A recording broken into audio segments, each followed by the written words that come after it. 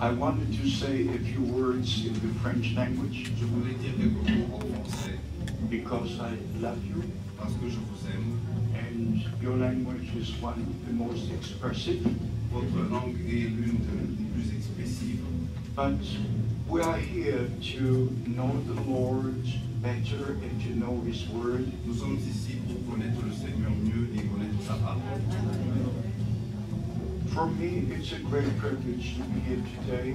Pour moi, c'est un grand privilège d'être ici aujourd'hui. Yesterday, we visited our brother Panikot, Hier, nous avons visité notre frère Panico, whom I know for many, many years. que j'ai connu, que je connais depuis plusieurs années. And then we had a meeting with about 20 brothers, Et après, nous avons eu une réunion avec euh, à peu près 20 frères. and we felt the presence of God Et nous avons ressenti la présence de Dieu and also the brotherly love.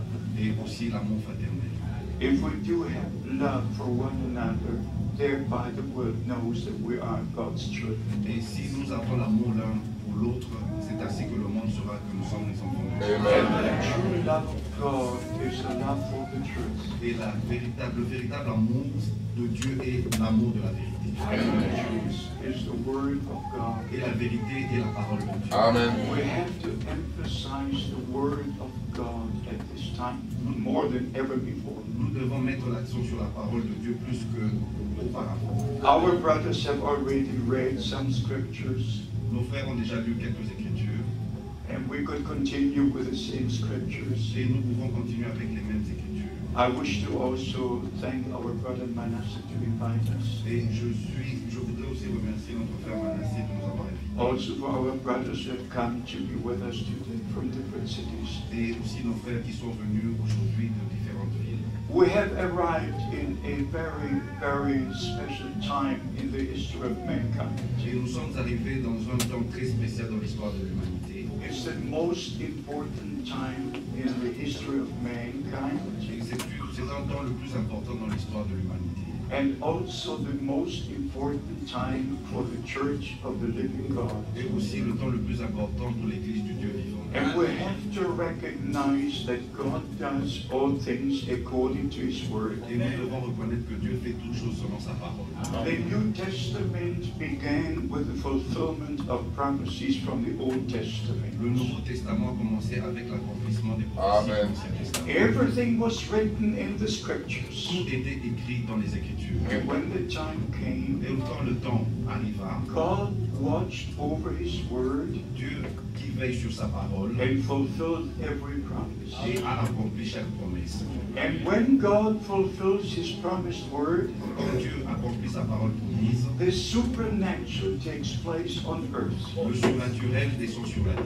Heaven comes down, heaven comes down to earth. Les cieux descendent sur la terre, les cieux descendent sur la terre. And the very beginning of the New Testament, Dès le commencement du Nouveau Testament, the angel Gabriel came to Zacharias. l'ange Gabriel est venu vers Zacharie. That's supernatural. Ça, c'est surnaturel. And only if you can believe, it will be revealed to you. C'est seulement quand vous croyez que cela peut vous être. Amen. Why, why God works in such a way. Pourquoi Dieu travaille de telle manière Six months later, the same angel came to Mary Six mois plus tard, le même ange est allé vers Marie to announce the birth of Jesus pour Christ. annoncer la naissance de Jésus-Christ. Every time the scripture had to be À fulfilled. chaque fois, c'était l'écriture qui devait être accomplie. John the Baptist was a promised prophet. Jean-Baptiste était un prophète promis. Brothers and sisters, this is very important. Frères et sœurs, ceci est très important. Jesus Christ was the promised Messiah.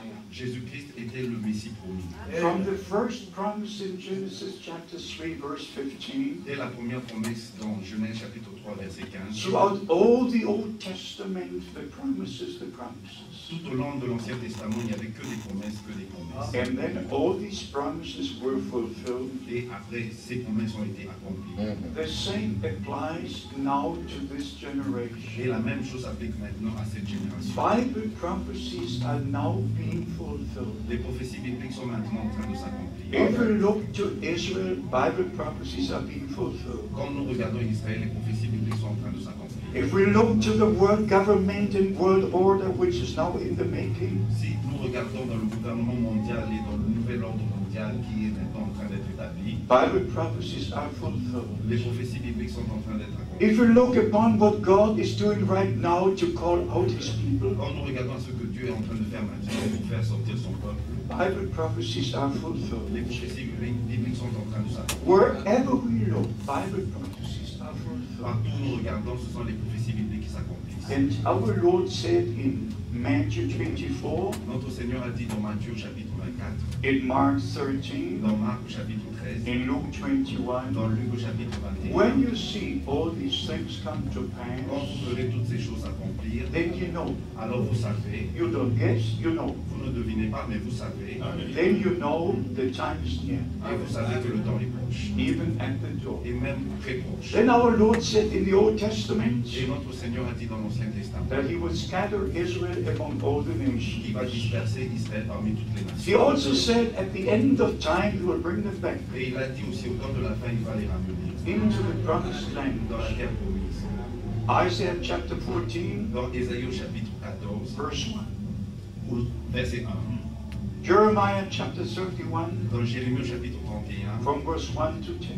du verset 1 au verset 10. Ezekiel chapter 36, Dans Ézéchiel au chapitre 36, 37, 30, 38, chapitre 39. chapitre All these chapters speak about Israel being gathered. Tous ces chapitres parlent d'Israël qui doit être rassemblé. In Luke chapter 21, Dans Luc au chapitre 21, verse 24, our Lord said, au verset 24, notre Seigneur Jerusalem will be trodden down by the Gentiles, que Jérusalem devait être foulée par les nations. and the Jews will be scattered among the nations les Juifs devaient être éparpillés parmi les nations until the times of the Gentiles be fulfilled. jusqu'à la fin du temps des nations. We could go to many, many Nous scriptures aller dans plusieurs écritures to show what the Bible predicts and what is coming to pass right now. montrer ce que la Bible a prédit, ce qui est en train de se passer maintenant. Just have one look again to the Middle East. Juste pour regarder un peu au Moyen-Orient, We have to understand this. nous devons comprendre ceci. that even with what is going on in Lebanon right now, Même ce qui se passe maintenant au Liban, it's part of the fulfillment of Bible c'est une partie des- de l'accomplissement des prophéties. There will be an international zone of security, Il y aura une zone internationale de sécurité. and that is the condition for the peace treaty with Rome and with Israel. Ça, c'est la condition pour le traité de Rome, entre Rome et Israël. Everything is working already in the right direction. Tout marche dans la, dans la bonne direction. And finally, it will be the discussion about Jerusalem. Et en fin de compte, il y aura la discussion sur Jérusalem. I have a document which is quite old, J'ai un document qui est assez ancien.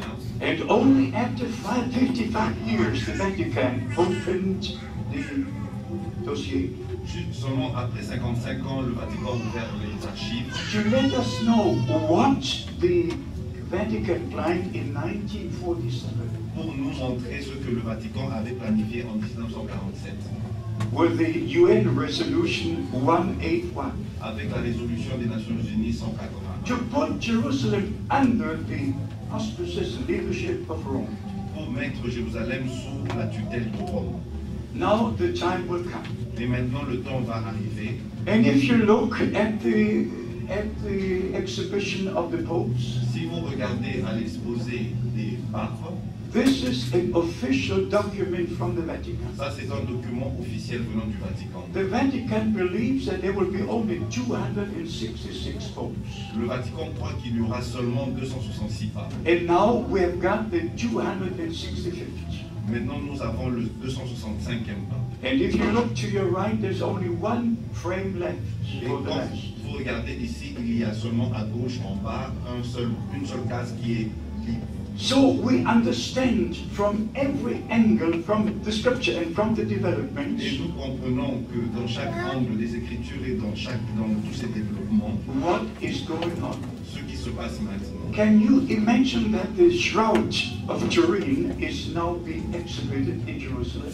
Pouvez-vous imaginer que le suaire de Turin est maintenant exposé euh, devant enfants tous, so that the Jews are acquainted with what the Catholic Church believes. afin que les Juifs puissent savoir ce que les catholiques croient. There are many things we don't understand, Il y a plusieurs, il y a beaucoup de choses que nous ne comprenons pas. but we understand that the same nuncius, the same ambassador from the Vatican, Et nous comprenons que le même son nonce et les mêmes ambassadeurs du Vatican, is for Israel and for the Palestine. il est le même ambassadeur pour Israël et pour la Palestine. The same Le ambassadeur for Israel and for Palestine. pour Israël et pour la Palestine. Usually, you have got ambassadors for each country, D'habitude, nous avons un ambassadeur pour chaque pays. but there it's one and the same. Et là, nous n'avons qu'un seul. I don't want to go into these Je ne veux pas aller dans ces détails. but the peace process is just moving on, Le processus de paix est en train d'avancer. and we shall see it fulfilled. Et nous allons, nous allons le voir s'accomplir. And we are not only in the end Nous time, ne sommes pas seulement au temps de la fin, we are at the end of the end time. nous sommes à la fin du temps de la fin. And the Lord is calling his people out from all nations. Et le Seigneur est en train de faire sortir son peuple de toutes les nations. I'd just like to make this remark, Je voulais juste faire cette remarque, especially from the African continent. euh, spécialement du continent africain. My brother Jadi was my interpreter in Kinshasa Mon frère était mon interprète à Kinshasa when 22,000 people were gathered in the stadium. Quand il y avait 22 000 personnes dans le stade. God calls from every nation, from all tribes, from all people. Dieu appelle de toutes les nations, de toutes les, toutes les tribus. And we believe that the return of Christ is very near. Et nous croyons que le retour de Christ est très proche. And we believe that God has sent a messenger with a message. Et nous croyons que Dieu a envoyé un messager avec un message. Amen. You may ask, is this important to know? Peut-être que vous pouvez vous poser la question, est-ce important de savoir cela? Yes, it is important for us to know what God did or does in our time. Oui, pour nous, c'est important de savoir ce que Dieu a fait et est en train de faire dans notre temps. It's not enough to know what God has done in the times past. Ce n'est pas suffisant de savoir ce que Dieu a fait dans le temps passé. We must know the promised word for today. Nous devons connaître la parole promise pour aujourd'hui. And just as the Jews returned from 143 countries Et comme les Juifs sont retournés de 143 pays to the promised land, vers la terre promise, to be there when God fulfills the promises to them. quand, pour être là quand Dieu accomplira leur promesse. Because the two prophets will not come to Lyon. Parce que les deux prophètes ne viendront pas à Lyon, They will not go to Washington. ils n'iront pas à Washington, They will be in Jerusalem. Ils seront à Jérusalem. And they Amen. must be there where the word of God is going to be accomplished. Et ils doivent être là où la parole de Dieu va être accomplie. So, Amen. in the same way, all the true believers who are part of the bride church, Alors, de la même manière, tous les véritables croyants qui sont une partie de l'Église épouse, they must be in the promised word of God for the day. ils doivent être dans la parole promise de Dieu pour ce jour. If the promised word is not in you, Si la parole promise n'est pas en vous, you cannot be in the promised word. vous ne pouvez pas être dans la parole promise. Our Lord said, If my words abide in you, Notre Seigneur a dit, si mes paroles demeurent and vous, you abide in et me, que vous demeurez en moi, it has to be like this. ça doit être ainsi. And then we Et understand, nous comprenons and this is very, very important. Que ceci est très très important. When our Lord took three disciples to the Mount of Quand notre Transfiguration, Seigneur a pris trois disciples vers la montagne de transfiguration, Matthew 17, dans Matthieu chapitre 17, Moses and Elijah also appeared. Moïse et Élie sont apparus. And when they came down from the mountain, Et quand ils sont descendus de la montagne, the question was, La question était,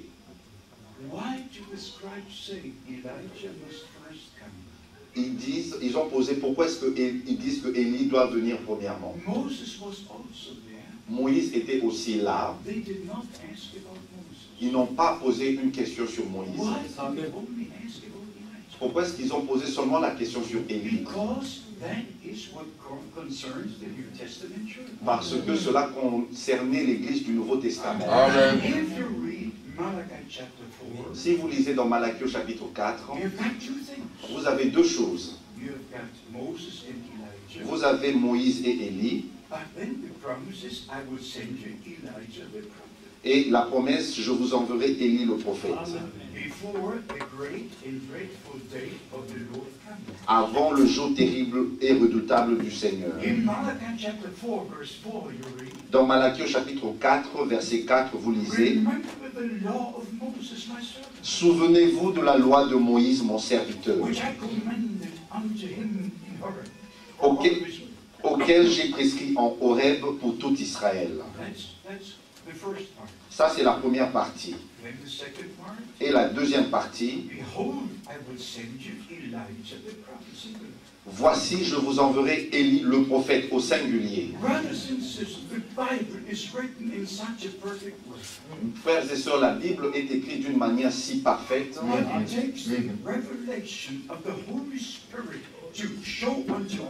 Mais cela doit, on doit avoir la révélation du Saint-Esprit pour nous montrer. Israel, quelle partie concerne Israël et quelle partie concerne l'Église du Nouveau Testament?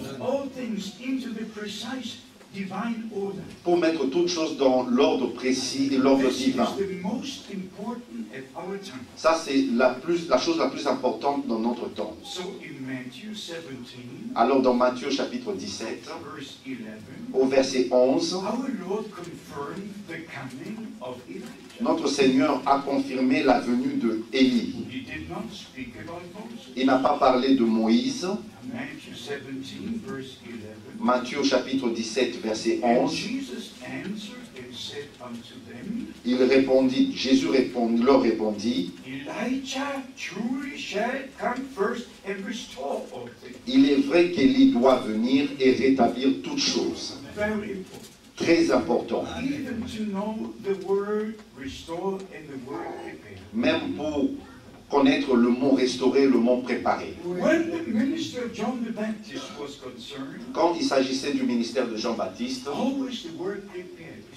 c'est toujours le mot préparé qui a été utilisé. Aucune fois on a utilisé le, nom, le mot restauré. Juste préparer, préparer. Isaiah chapter 40 verse 3. Dans Ésaïe au chapitre 40, verset 3. Malachi chapter 3 verse 1. Dans Malachie au chapitre 3, verset 1. Matthew 11 verse 10. Dans Matthieu chapitre 11, verset 10. Mark 1, 1 and 2. Dans Marc au chapitre 1, verset 1 et 2. Luke 1, 17. Dans Luc 1 au chapitre au verset 17. Luke 1, 76. Dans Luc 1 au verset Always 76. the word prepare, prepare. Toujours le mot préparer, préparer. But Mais quand il s'agit du ministère dans notre temps, le mot restaurer. Quand je restaurerai. Pour ramener les choses telles qu'elles étaient au commencement. La chose la plus importante doit commencer avec nos cœurs. He shall turn the hearts of the children to the fathers, Il va ramener les cœurs des enfants vers le cœur de Père. Et non leur tête, mais la- le cœur. Le cœur. L'Écriture dit, donne-moi ton cœur. And God said, I will make a new covenant. Et Dieu a dit, je ferai une nouvelle alliance. Je vous donnerai un nouveau cœur et non une nouvelle tête. Je vous donnerai un nouveau cœur, un nouvel esprit, une nouvelle vie. Et si nous croyons en Jésus-Christ, notre Seigneur et Sauveur, nous devons avoir une expérience personnelle avec notre Seigneur. Le même apôtre Paul, qui a dit que je prêche Jésus-Christ crucifié, pouvait dire de lui-même, je suis crucifié avec Christ. It's not enough to preach Jesus Christ as the crucified. Ce n'est pas suffisant de prêcher Jésus-Christ comme étant le crucifié.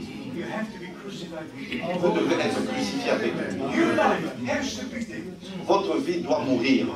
No more I will do this, I will do that, and then the will of God be done. Plus je ferai ceci, mais que la volonté de Dieu soit faite.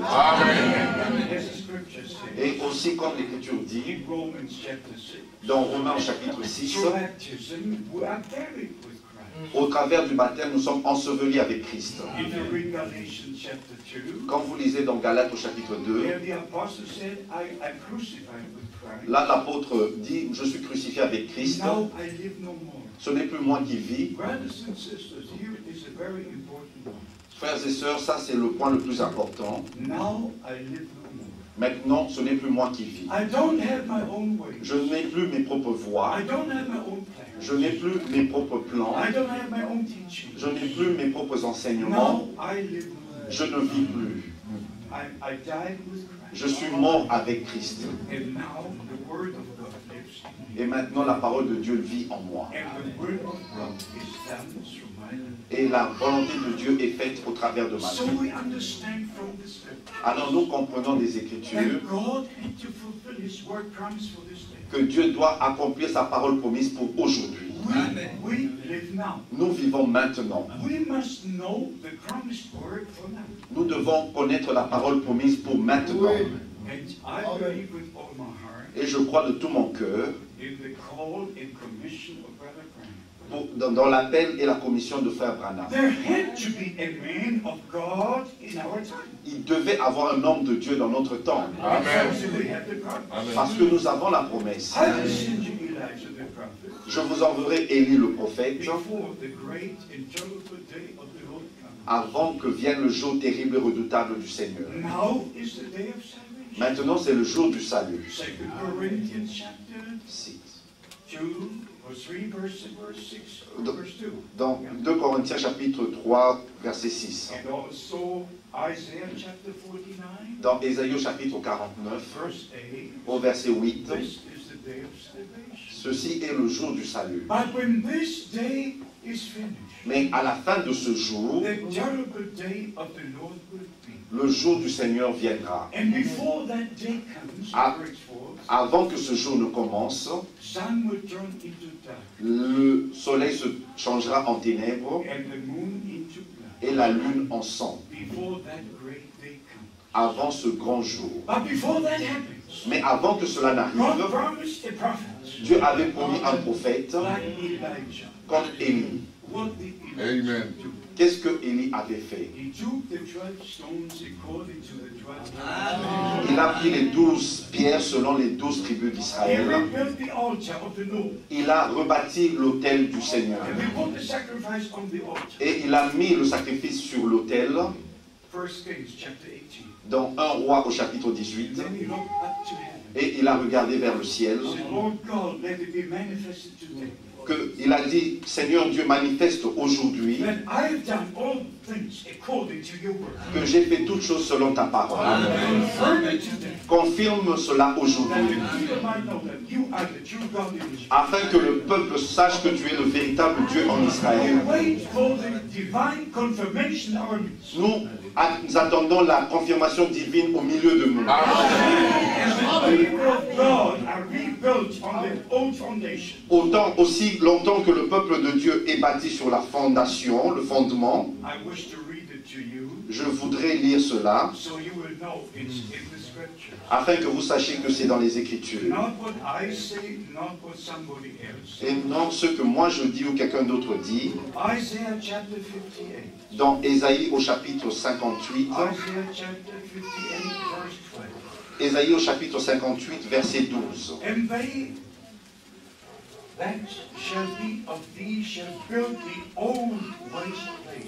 Les tiens rebâtiront sur d'anciennes ruines. Thou shalt raise up the foundations of many generations, Tu relèveras des fondements antiques. On t'appellera réparateur des brèches, the restorer of the paths to dwell in. celui qui restaure les chemins. Restaurer, restaurer, restaurer. Tout est dans ce livre. Amen. Amen. Frères et sœurs, nous avons tous eu nos expériences avec le Seigneur. If not, you would not be here today. Si ce n'était pas le cas, vous ne serez pas ici aujourd'hui. Every child of God looks back to the experiences they had with the Lord. Chaque enfant de Dieu regarde en arrière aux expériences qu'il a eues avec le Seigneur. Et je me rappelle encore du temps où j'étais ensemble avec Frère Branham. Je n'ai pas eu le privilège d'être avec l'apôtre Paul ou les autres apôtres, but I knew Brother Branham for 10 years. mais j'ai connu Frère Branham pendant dix ans. Et j'étais avec lui dans la voiture et c'est lui qui conduisait. I knew him as a man, Je l'ai connu en tant qu'homme and I know him as the man of God, et je le connais en, en tant qu'homme de Dieu, le véritable prophète. Amen. C'est le seul prophète que mes yeux ont vu. Received. Et je crois dans l'appel qu'il a reçu. And Et quand Frère Branham disait, And the same supernatural light that is above him in the picture of Houston, Texas, quand la même lumière surnaturelle qui est sur lui dans la photo à Houston, Texas, appeared over him two hours after he was born. était apparue deux heures après sa naissance. And Et ceux qui étaient là ont vu la lumière surnaturelle. And the Lord spoke to him in visions when he was seven and on, especially when he was 12. Et le Seigneur lui parlait déjà quand il avait 7 ans, 12 ans. There was a special ministry ordained for him. Il y avait un ministère spécial qui lui était ordonné.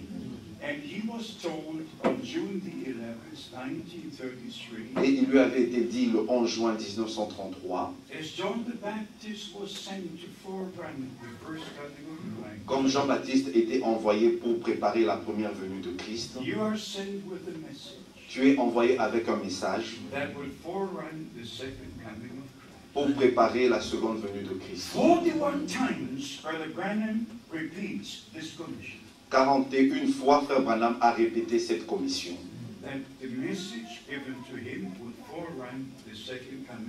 que le message qui lui a été confié préparera la seconde venue de It's Christ. now over 40 years since the Lord took Brother Branham to glory. Et c'est déjà depuis 40 ans que Frère- Dieu a repris Frère Branham. And there are a few things in our life which we did not plan, but God. Mais il y a quelque, des choses dans notre vie que nous n'avons pas planifiées, mais Dieu l'avait planifié. I didn't know that Brother Branham had the accident on December the 18th. Je ne savais pas que Frère Branham avait eu l'accident le 18 décembre 65. I didn't know that he was taken to glory on December the 24th. Je ne savais pas que Frère Branham était décédé le 24 décembre 65. But the God of heaven showed it to me. Mais le Dieu des cieux me l'a montré. Je ne veux pas aller dans les détails, And I was there at the funeral. mais j'étais là au fun, au, à l'enterrement. C'était le jour le plus terrible dans ma vie. Je n'ai fait que pleurer, Et à peu près pendant deux heures, les frères n'ont fait que chanter Crois seulement, crois seulement, espérant que Frère Branham allait ressusciter. Je n'ai pas chanté. Et moi, je pleurais et je I priais. said, Dear God, tell me, how can the bride be prepared without this ministry? Et j'ai dit, mon cher Dieu, dis-moi comment est-ce que l'épouse peut être préparée sans ce ministère Because I knew the supernatural ministry. Parce que je connaissais personnellement le ministère surnaturel. When I shook Brother Branham's hand for the first time, Quand j'avais saisi la main de Frère Branham pour la première on fois, August the 15th, 1955, le 15 août 1955, and he looked at me and said, et il m'a regardé et il a dit, You are a minister of the gospel. il a dit, tu es un ministre de l'évangile. I remember June the 11th, 1958. Je me rappelle le 11 juin 1958, And I don't know why it was again June the 11th. Mais je ne sais pas pourquoi est-ce que c'était le 11 juin 1958, But it was June the 11th, 1958. mais c'était le 11 juin 1958, It was a Wednesday. c'était un mercredi. And we had partaken in the big meetings in Dallas, Texas, Nous avons pris part à un- une grande réunion à Dallas, au Texas, where all the great evangelists were present. où il y avait tous ces grands évangélistes. And Brother Branham was the main speaker in the evening service. Frère Branham était l'orateur principal au service du soir. And on that day, I went to Brother Branham, Et en ce jour-là, je suis allé vers Frère and Branham we talked with each other. et nous avons parlé ensemble. We spoke about the meetings in Germany, Et il a parlé des réunions en and Allemagne the meetings in Switzerland. et des réunions en Suisse.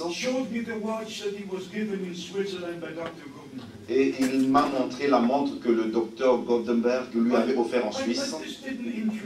Mais cela ne m'intéressait pas. All of a sudden, he said, Et soudainement, j'ai dit, Brother Branham, I realize that you are the man sent from God at this time. j'ai dit, frère Branham, je réalise que tu es un homme envoyé par Dieu dans ce temps.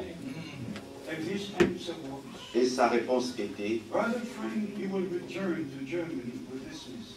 frère Franck, tu retourneras en Allemagne avec ce message. I had immigrated to Canada. J'avais immigré au Canada. I never thought to return, never, never, never. Je n'ai jamais pensé, jamais pensé que je retournerais en Allemagne. I had bought a house in Canada. J'avais acheté une maison au Canada. I was driving a big car. Je conduisais une grande voiture au Canada. I never thought about returning to Germany. Je n'ai jamais pensé une seule fois retourner au Canada, au- en Allemagne. And this man of God says, Et cet homme de Dieu a dit you will return to Germany with this message. Que tu retourneras en Allemagne avec ce message. C'était le plus grand sacrifice que j'ai fait dans ma vie But sur la terre. Mais Dieu connaît toutes choses. Je suis rentré et le message a, pris, a pu être propagé. Et juste après que frère Branham fut repris du Seigneur et fut enterré, I returned to Germany. Je suis rentré en Allemagne. J'avais un très bon travail. Je travaillais pour le gouvernement allemand. J'étais bien établi. But then I gave my notice, and with May the 1st of 66, I started a full-time ministry. Et j'ai donné ma démission le 1er mai 1966 et j'ai commencé à plein temps le ministère.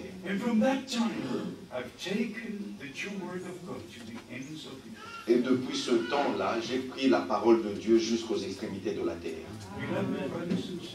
Bien-aimés frères et sœurs, nous sommes arrivés à la fin du temps de la grâce.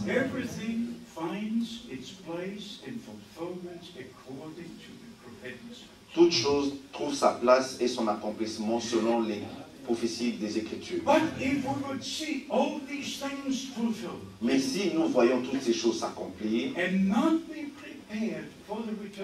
et ne pas être préparés pour le retour de Christ, then it was all in vain. tout, alors tout était en vain. The main thing is our calling out, La chose la plus importante, c'est notre appel à sortir pour revenir à la parole de Dieu,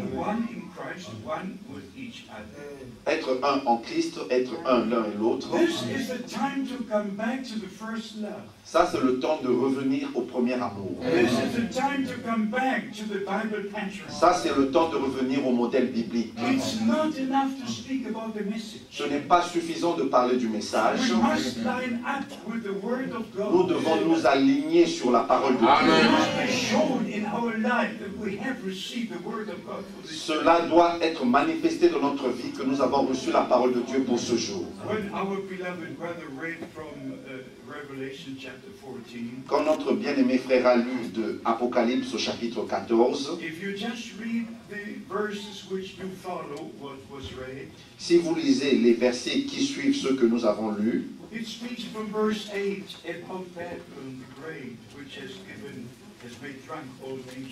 speaks from verse 8 about Babylon the Great, which has given, has made drunk all nations. il est parlé de Babylone la grande qui a abreuvé toutes les nations du vin de sa fureur. de la.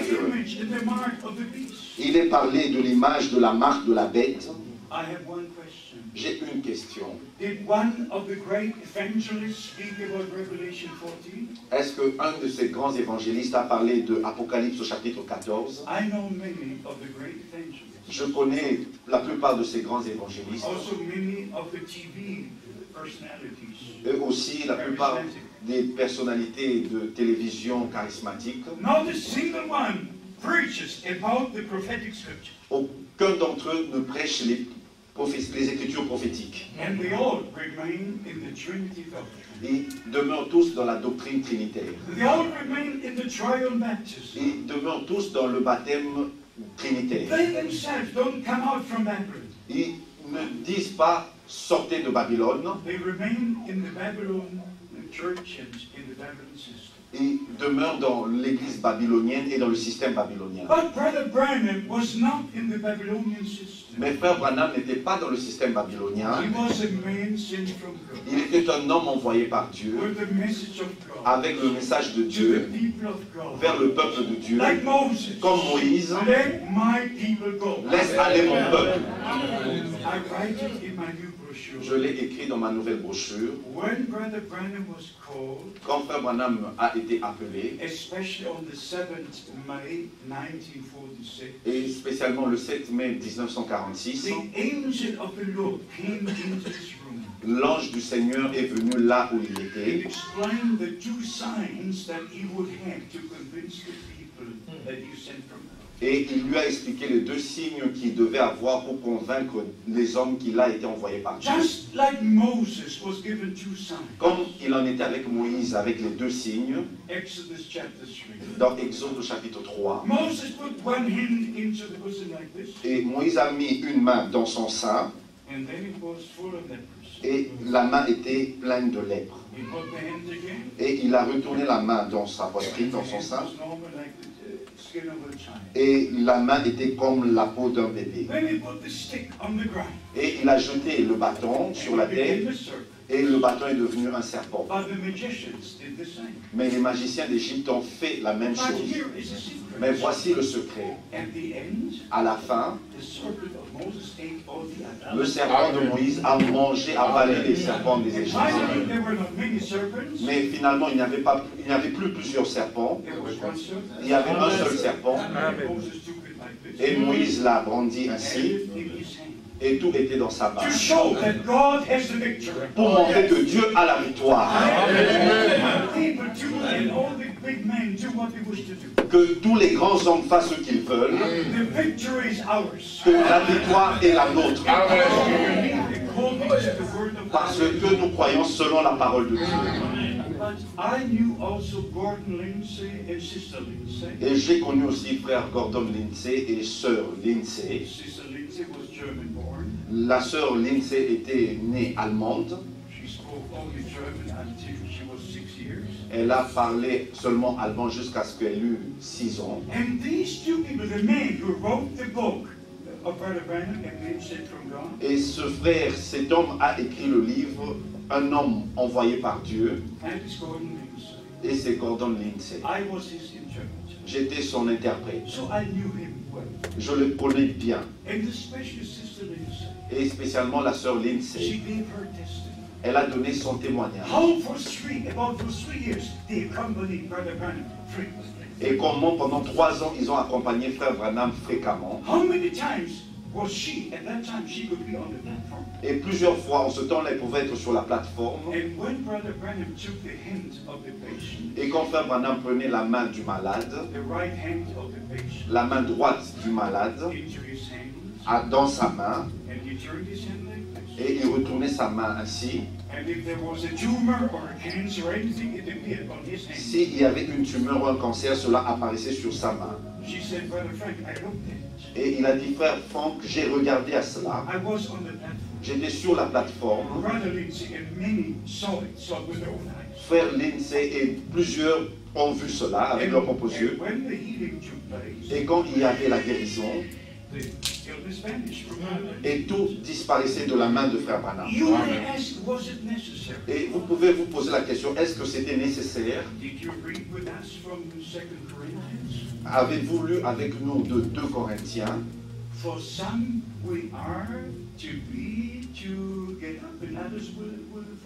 Pour certains, nous sommes euh, de, de la bonne odeur et pour d'autres, pour leur chute.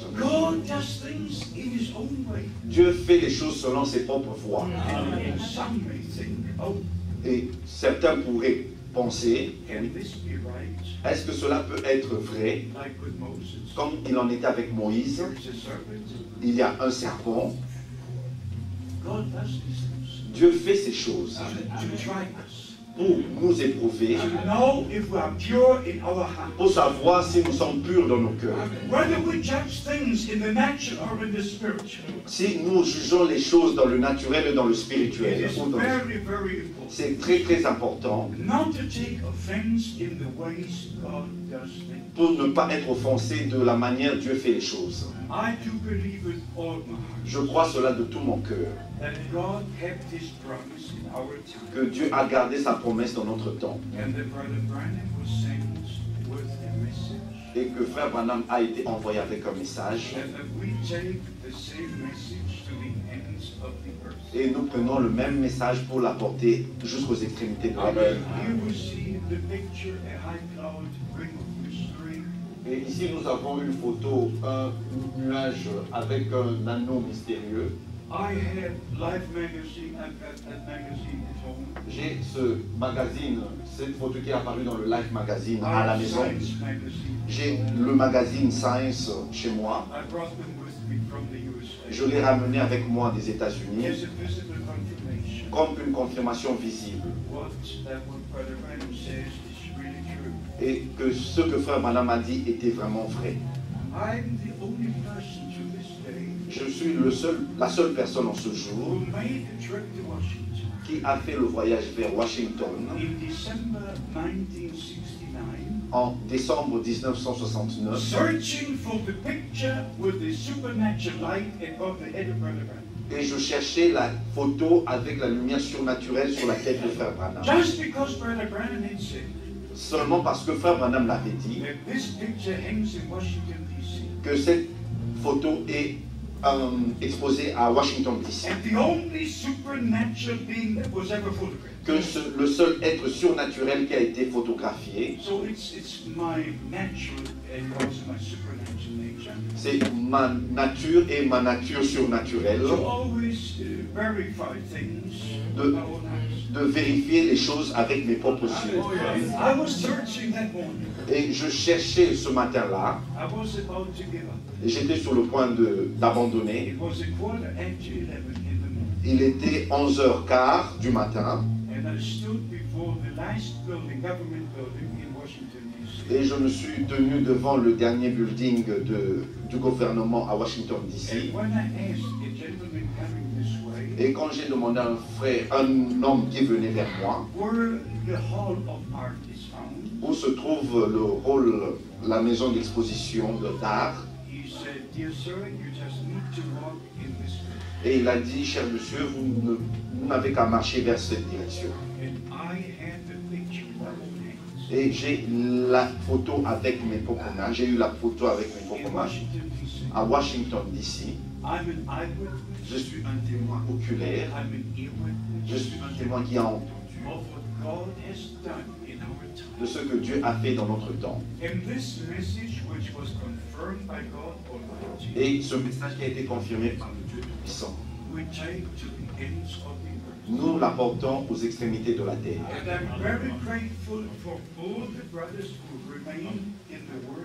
Et je suis très reconnaissant pour tous les frères qui demeurent dans la parole de Dieu. Nous sommes, je viens juste de revenir de la Roumanie and I think we had about 1,300, 400 people in the meeting. et je crois que nous étions à peu, à peu près 1300-1400 personnes dans cette réunion. C'est la plus grande réunion en Europe And I saw the fruits of the ministry of these brothers. et j'ai vu les fruits de- des ministères de ces frères. And the secret is that they love one another, Le secret est qu'ils s'aiment l'un et l'autre that they work together, et ils, travaillent ensemble, everyone in his place. chacun dans sa place, à sa place. Et ça, je souhaite cela pour vous qui êtes ici à Lyon. Et je désire cela à Paris et dans toutes les autres villes. Chaque frère doit respecter l'autre frère.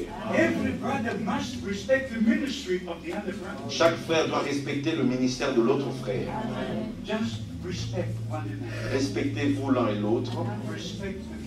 Respectez le ministère que Dieu a donné. Parce qu'il y a des ministères différents. According to 1 Corinthians chapter 12, Selon 1 Corinthiens chapitre 12, verse 28. au verset 28, According to Ephesians chapter 4, selon Éphésiens chapitre 4, especially from verse 11. particulièrement à partir du verset 11. And here is the point, beloved brothers. Ceci est le point, bien-aimés frères, et aussi chères sœurs, plusieurs frères dans le message, ils vont par-ci par-là disant le prophète a dit, le prophète a dit. They don't take the Bible Ils ne prennent pas la Bible pour montrer des saintes écritures ce qu'ils prêchent et ce qu'ils croient. Et ils mettent la Bible à côté et ils prennent les prédications de frère Branham. Ça, ça ne devait pas être le plus grand problème. Mais- Mais le grand problème, c'est quand, quand ils prennent quelque chose d'ici, quelque chose de là, out of context. en dehors de leur contexte. And this is the big problem. Ça, c'est le grand problème. As long as all the sermons were left the way Brother Branham preached them, Aussi longtemps que les sermons étaient laissés tels que frère Branham les avait apportés, there was no problem at all. il n'y avait aucun problème. Mais aussi longtemps, quand les frères ont commencé à chercher leurs points sur les sept tonnerres, about the seven seals, sur les sept sceaux, about all these specialities, et sur toutes ces spécialités, c'est là que le problème a commencé. Et même un frère qui a entendu une déclaration que l'agneau a quitté le trône de grâce, they say it's over. Grace is over. ils ont dit que la grâce est finie.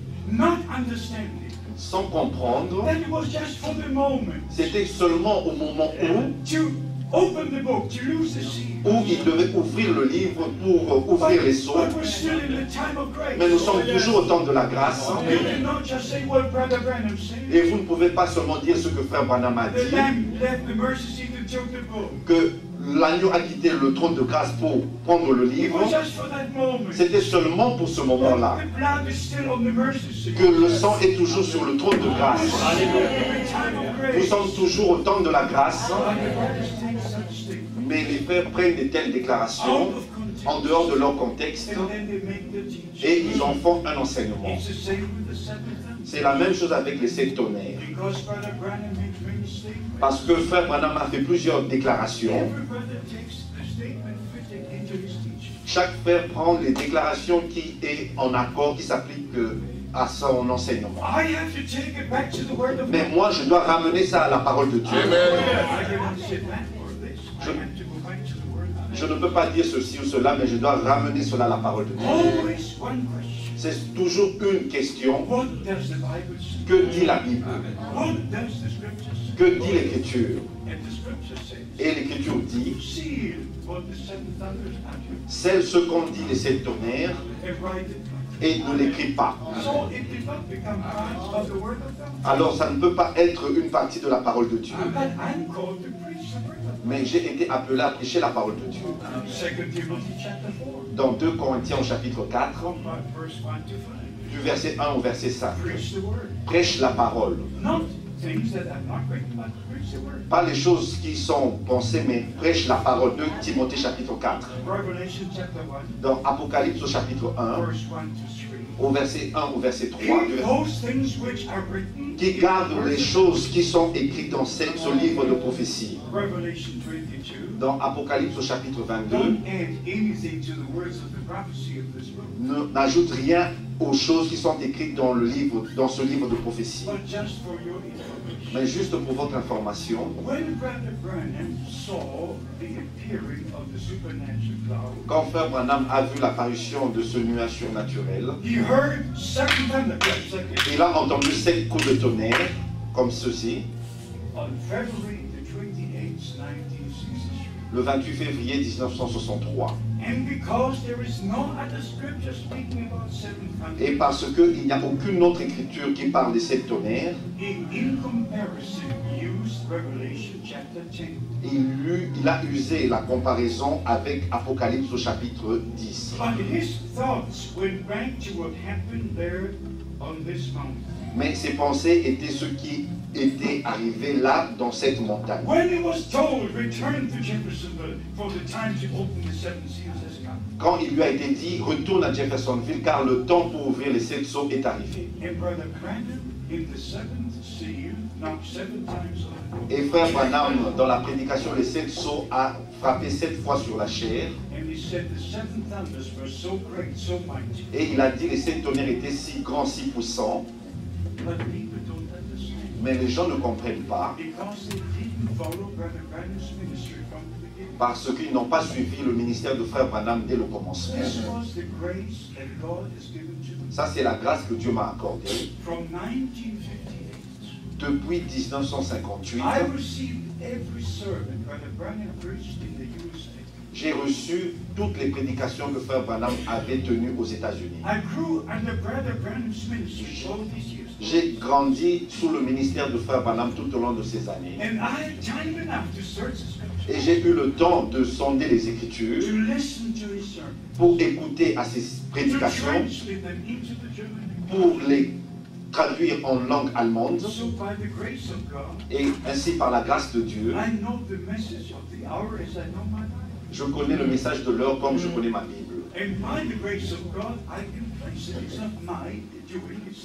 C'est par la grâce de Dieu, je peux placer les choses. Ce n'est pas moi qui le fais, mais c'est le Seigneur. J'ai mentionné ces choses pour que vous sachiez que si quelqu'un vient et vous dit que le Seigneur est déjà revenu, ceci, cela est appelé la doctrine de la parousie, parce que Frère Branham une fois avait dit que le Seigneur est déjà de retour, est déjà, est déjà revenu. Uh. Et encore, c'est une mauvaise compréhension. Because in November 1965, Parce qu'en novembre 1965, just two weeks before he was taken to glory, juste deux semaines avant qu'il soit repris dans la gloire, il a parlé du retour du Seigneur.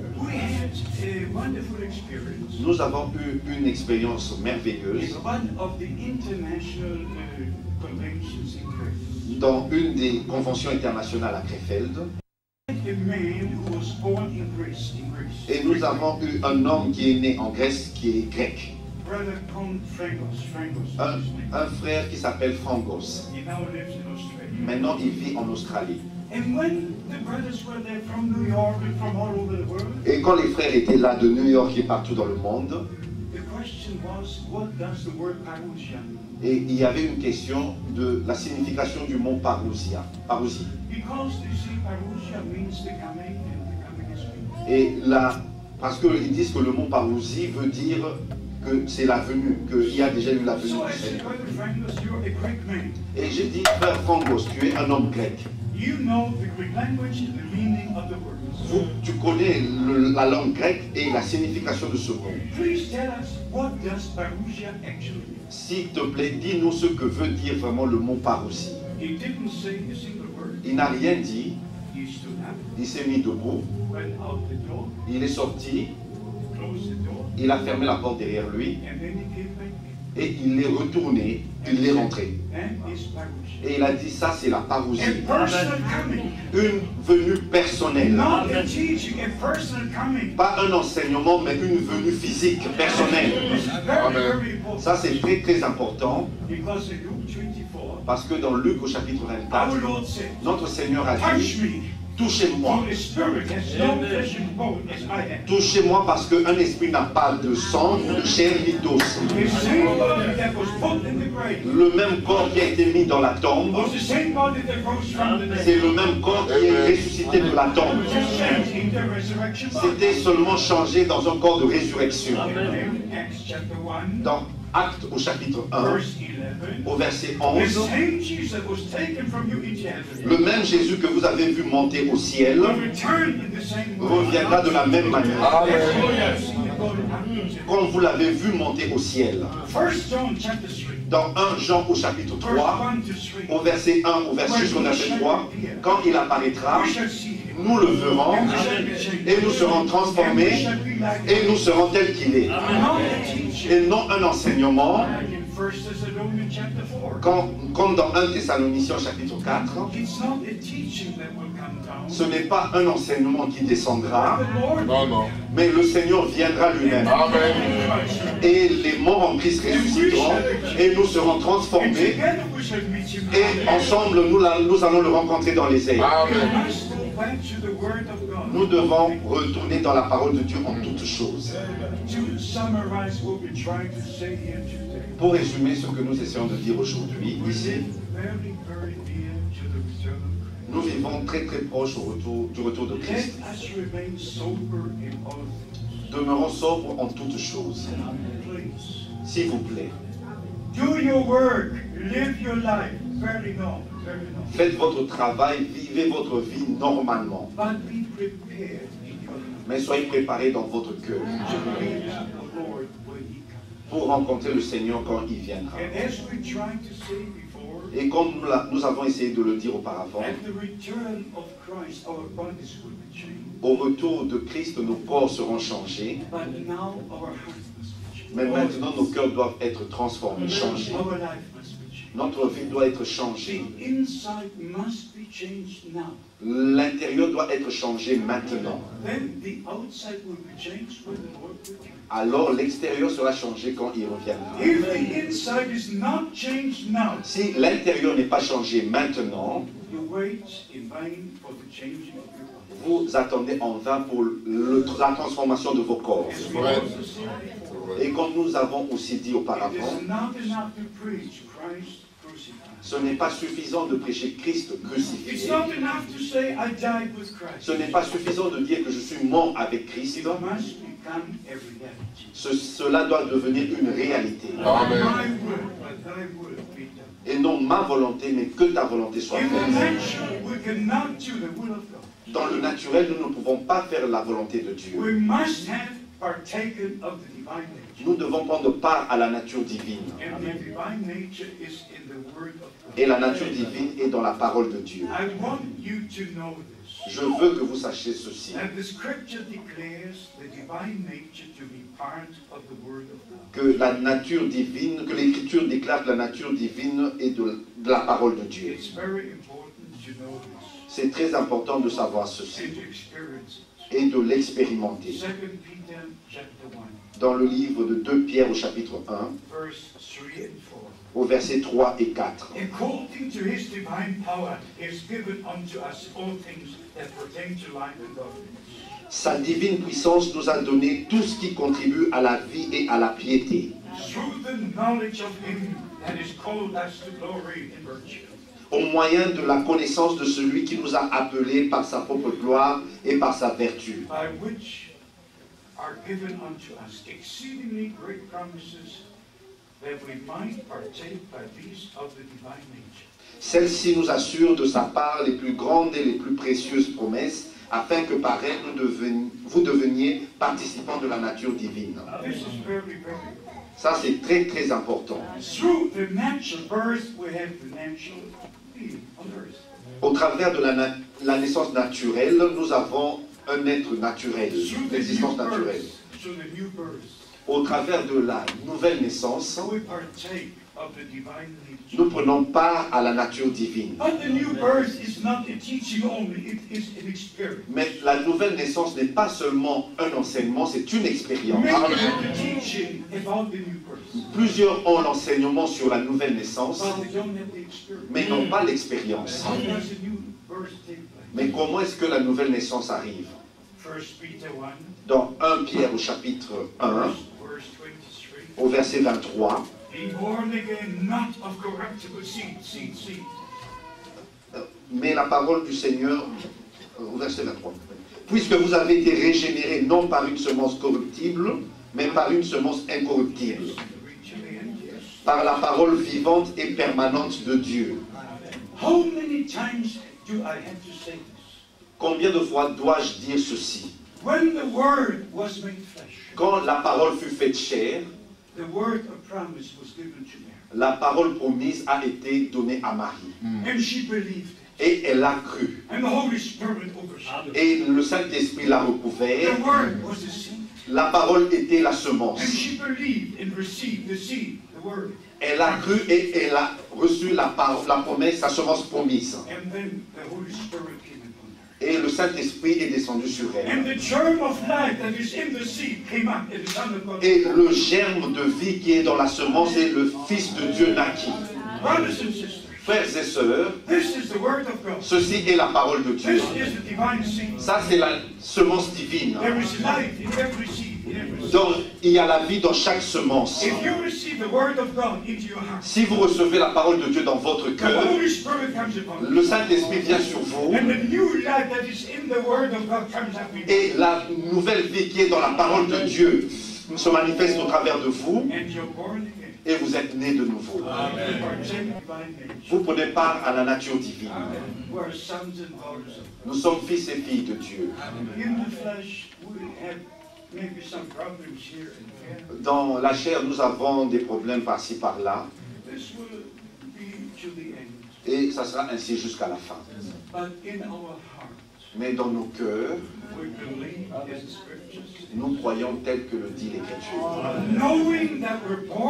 Sachant que nous sommes nés de nouveau, Et voici le secret, Only if we partake of this divine nature, c'est seulement quand nous prenons part à cette nature divine there is a connection in us to all things which are divine. et nous sommes ainsi en connexion avec tout ce qui est divin. Ça, c'est très très important. Cela doit s'allier, être raccordé ensemble. Ainsi, vous êtes une partie de la parole et la parole est en vous et Christ. nous sommes tous un en Christ et non un frère qui enseigne un autre We're all taught by God. et nous sommes tous enseignés par Dieu Amen. À- au travers de la même parole, Same Holy Spirit. par le même Saint-Esprit.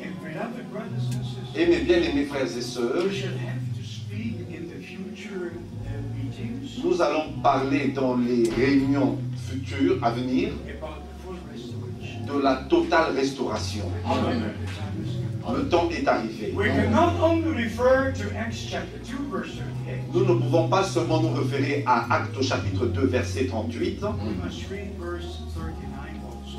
Nous devons aussi lire au verset 39, Because there it says, parce que là, il est dit, for 38 to 39, verset 38 au verset 39, Repentez-vous et que chacun de vous soit baptisé au nom de Jésus-Christ pour la rémission de vos péchés et vous recevez le don du Saint-Esprit. Car cette promesse vous appartient et à vos enfants, aussi nombreux que l'Éternel, notre Seigneur, les appellera. Amen. Et il y a une promesse. Nous ne devons pas seulement prêcher la première partie, mais la deuxième, la troisième partie. C'est très important pour nous d'être baptisés dans le nom du Seigneur Jésus-Christ. Mais c'est également important d'être baptisé du Saint-Esprit. Amen. Amen. Absolument. Amen. the full restoration. Dans la totale, la pleine restauration, le plein évangile doit être annoncé et la pleine puissance de Dieu doit être manifestée. La restauration est la restauration. Comme l'Église était au commencement, So she must be at the ainsi elle doit être à la fin. with all the ministry, Avec tous les ministères, avec tous les dons. Une totale restauration de toutes choses. Maintenant, avant la seconde venue de Christ. Et Dieu a dit au travers du prophète Joël, je restaurerai toutes choses. Même toutes les années qu'ont dévoré l'ennemi. And if you go to James chapter 5, Et quand vous allez dans Jacques au chapitre 5, il parle de Job, qui avait reçu une double restauration. And three times in James 5 you read the coming. Et trois fois, vous lisez dans le livre de Jacques la- le retour de- du Seigneur. Ce livre est dans un ordre divin. Mais nous devons être conduits par le Saint-Esprit pour connaître la volonté de Dieu selon la parole de Dieu. Encore une pensée. Ce n'est pas suffisant de dire le prophète a dit, le prophète a dit.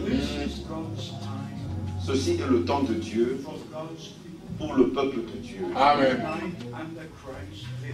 Pour être unis sous Christ la tête. To Amen. love one another. De nous aimer les uns les autres.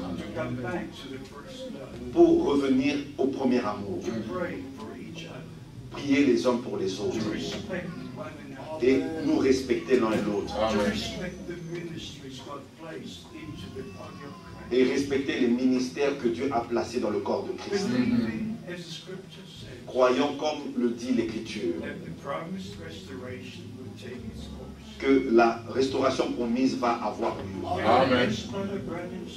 Et comme Frère Branham avait vu, the time will come le temps viendra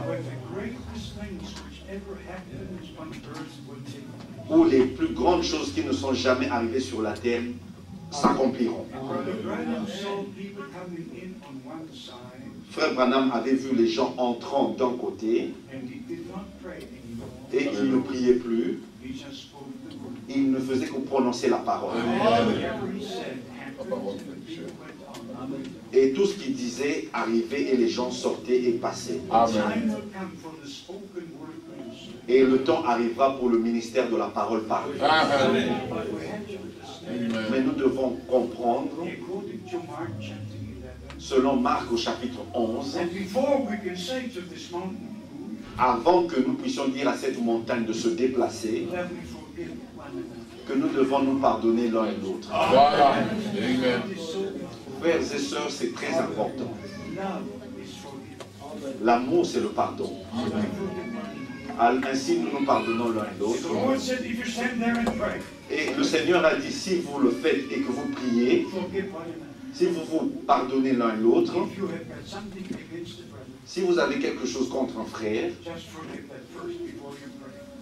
pardonnez cela d'abord avant que vous priez. Dans l'amour parfait, la puissance de Dieu sera Not manifestée. Et non dans l'arrogance où je- j'ai raison, tu as tort, in the love. dans l'amour de Dieu. Amen. Et chaque ministère sera à sa place. Amen. Et disons encore une fois, we see according to the things which are now happening, nous voyons selon les choses qui s'accomplissent maintenant. Et spécialement avec Israël. And I've known Israel since 1964, Et je connais Israël depuis 1964, and also Lebanon. et aussi le Liban. I had meetings in Lebanon in 1964, J'ai eu des réunions au Liban en 1964 1968. et en 19- 1968. I don't want to go into these details, Je ne veux pas aller dans ces détails, mais le Liban était le paradis dans cette région. Et aujourd'hui, nous comprenons ce qui se passe là-bas. Et ainsi l'écriture sera accomplie First Thessalonians chapter 5. dans 1 Thessaloniciens chapitre 5, When they will say, now is peace and safety. quand ils diront paix et sécurité, ils sont en train maintenant d'établir une zone de sécurité maintenant.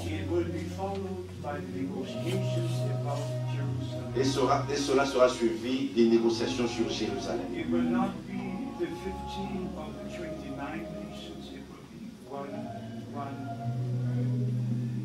system as it meant to be. Et ça ne sera pas le 58 ou 29 nations, mais ça sera un seul système, le Vatican. Et les négociations se, auront lieu. Daniel chapter 2 will be fulfilled. Dans Daniel, Daniel chapitre 2 sera accompli. Daniel chapter 7 will be fulfilled. Daniel chapitre 7 sera accompli. Daniel chapter 8 will be fulfilled. Et Daniel au chapitre 8 sera accompli. And I'm just going to read you one verse from Daniel 8. Et je vais vous lire un verset de Daniel au chapitre 8. So you will understand from the scriptures Ainsi, vous allez comprendre des Écritures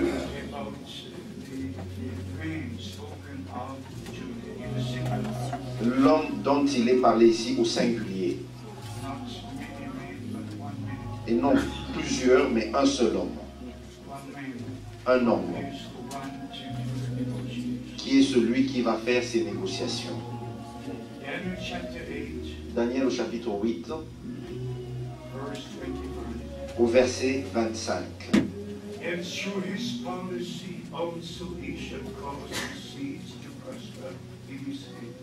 À cause de sa prospérité et du succès de ses ruses, il aura de l'arrogance dans le cœur.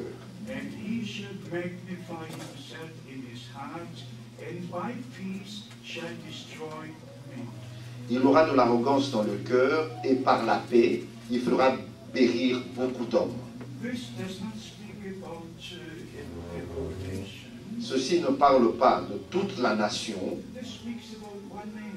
Il parle ici d'un homme.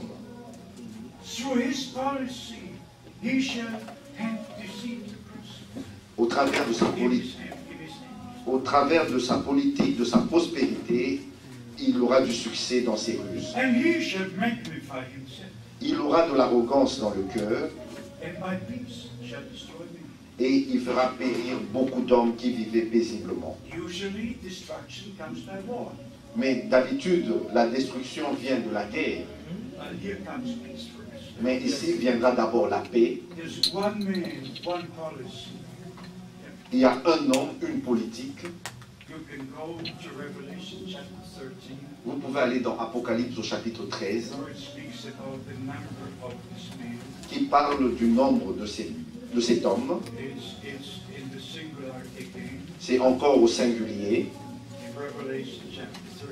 Dans Apocalypse au chapitre 13, the last verse. le dernier verset. C'est ici la sagesse. Que celui qui a de l'intelligence calcule le nombre de la bête. Car c'est un nombre d'hommes. Et non plusieurs hommes, mais un nombre d'hommes. Et son, son, son nombre 666. est 666. Brothers and sisters, dear friends, Frères et sœurs, chers amis, Dieu a utilisé Frère Branham pour nous donner l'introduction dans l'écriture prophétique.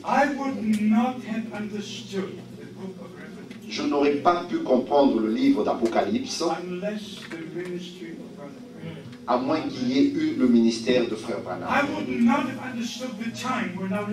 Non, Je n'aurais pas compris le temps dans lequel nous vivons s'il n'y avait pas eu ce ministère envoyé par le Dieu Tout-Puissant. Et de la même manière, nous comprenons la responsabilité que nous avons sur nous maintenant. Bien-aimés frères et sœurs, there has never been such a great responsibility connected to the teaching of the Word of God. il n'y a jamais eu une telle responsabilité en relation avec l'enseignement de la parole de Dieu comme maintenant. At this time, we must take in the evangelistic part Maintenant, nous devons prendre la partie évangélique to preach the everlasting gospel. pour prêcher l'évangile éternel. We must take in all the teaching parts. Nous devons prendre aussi toute la partie d'enseignement. Nous devons aussi prendre toute la partie prophétique. Tout, nous devons prendre tout ça maintenant dans ce ministère. pour montrer au peuple de Dieu le plan du salut en ce temps. Pour mettre en contact cette génération pour la dernière fois avec le temps éternel de Dieu, le plan éternel de Dieu. Et par la grâce de Dieu, il nous a accordé la révélation divine. It's not my earning, it's not your earning. This is what God has done. Ce n'est pas ce que moi j'ai mérité, ce que vous avez mérité, mais ce que Dieu a fait. And here is the point. Et voici le point. If you receive a man of God, Si vous recevez un homme de Dieu, understanding that he is sent from God, comprenant qu'il a été envoyé par Dieu, selon l'Écriture, si vous recevez celui que moi me. vous me revelation. Et vous aurez la même révélation que l'homme de Dieu a reçue. Parce que vous entendez la même parole de Dieu. Ceci est le secret. Pour prendre part à ce que Dieu a promis et est en train de faire maintenant. Nous allons continuer jusqu'à ce que le Seigneur revienne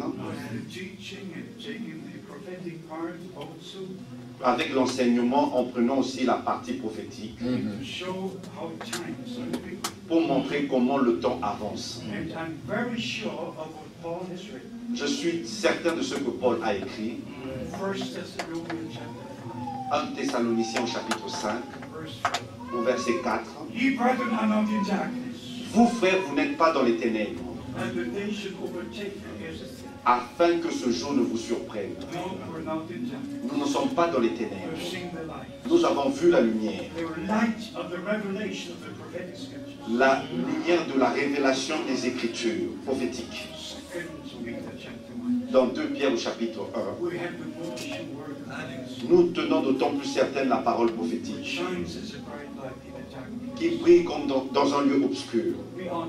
Soyez honnêtes. Everybody can read 1 Thessalonians 5. Tous peuvent lire 1 Thessaloniciens chapitre 5. Everybody can read uh, 14.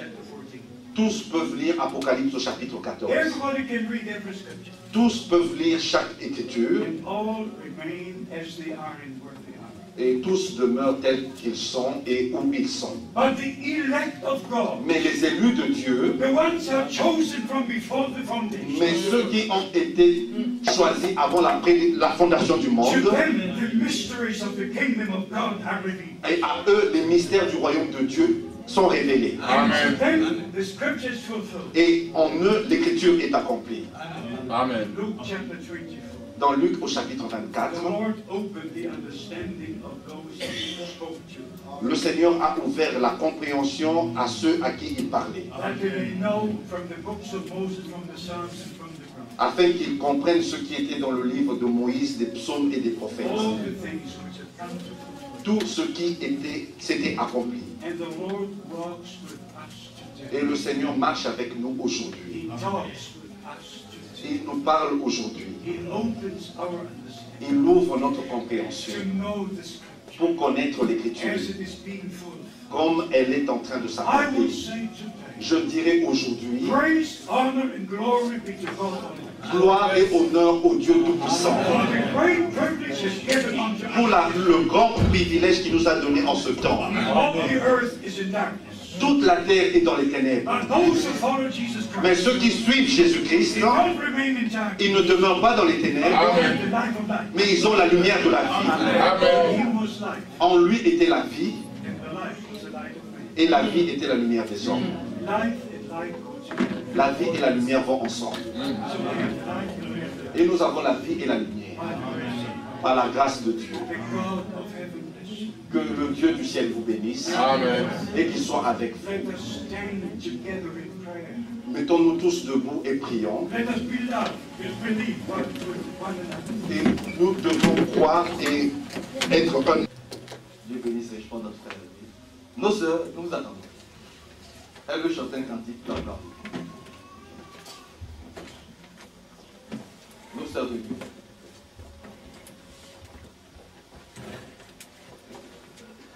Quelquefois, elle peut s'y joindre.